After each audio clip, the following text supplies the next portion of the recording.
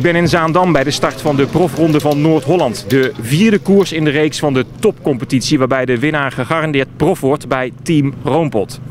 Vandaag maak ik geen sportjournalistieke reportage, maar weer eens een ouderwetse achtergrondreportage. Ik ga in de wagen bij Metec TKH Continental Team.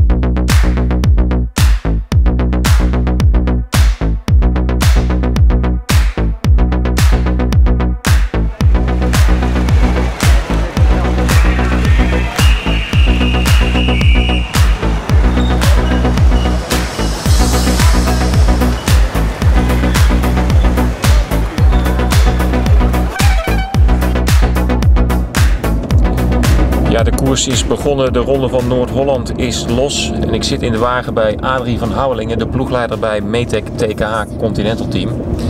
Adrie, met welk plan zijn jullie vandaag van start gegaan?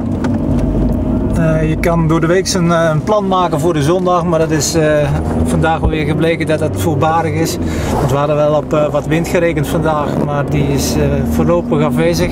Dus ik denk dat het heel lang een, een, een grotere groep zal blijven met wel wat afvallers achter in het peloton. Maar weinig waaiers zullen we te zien krijgen vandaag, denk ik. En als het dan een scenario wordt van een massasprint, hebben jullie dan een mannetje mee? Kijken 25 kilometer van de aankomst ongeveer uh, hoe groot een eerste groep is, of Joachim Aris erbij is. En uh, vanaf dat moment uh, gaan wij met z'n allen voor Joachim rijden.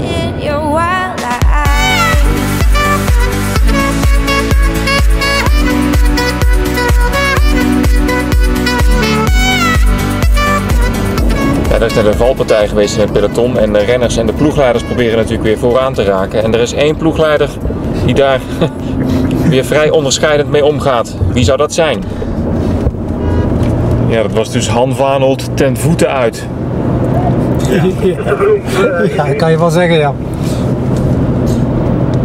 Nou, wil je een oordeel van mij daarover? Of, uh, dat hoop ik nog niet. Jij zal er vast een mening over hebben over Han Vanold en zijn rijgedrag, of niet? Ja, heb ik wel, ja.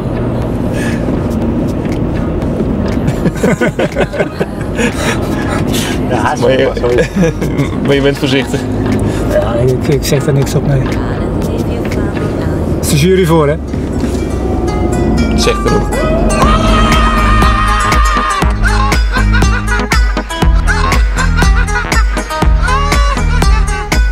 Dat is een geintje! Dat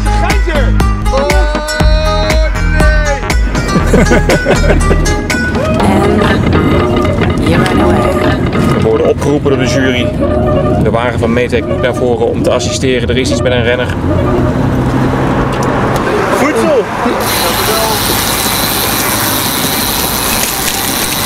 Ik sta in de valpartij bij mijn eten kwijtgeraakt.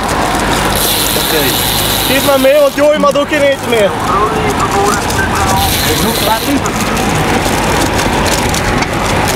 Oké, okay, terug, terug. Meer niet.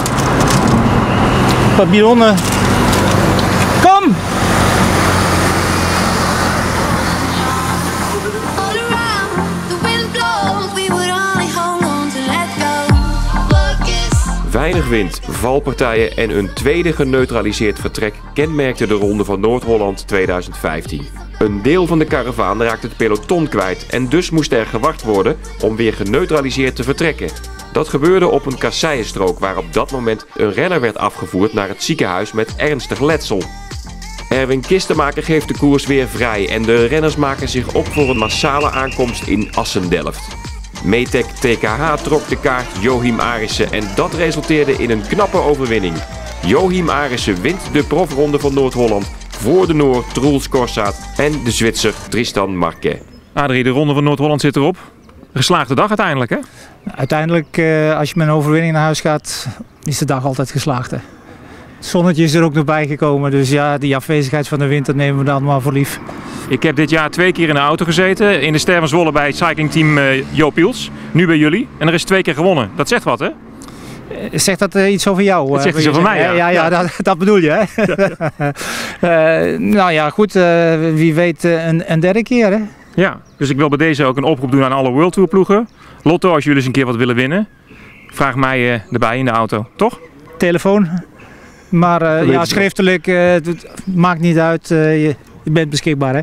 Tot zover de profronde van Noord-Holland. De vierde wedstrijd in de topcompetitie. Tot snel.